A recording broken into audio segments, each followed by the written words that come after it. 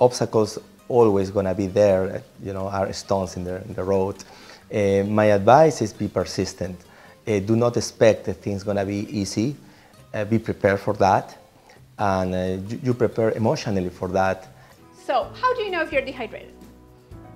I'll give you a very, very simple tip. If around 3 o'clock in the afternoon, you're feeling you have a slight headache, or you're feeling tired, or you just want to go to sleep, you are dehydrated. We also encourage everyone to prepare taxes as a family because it's many, many credits that you can transfer.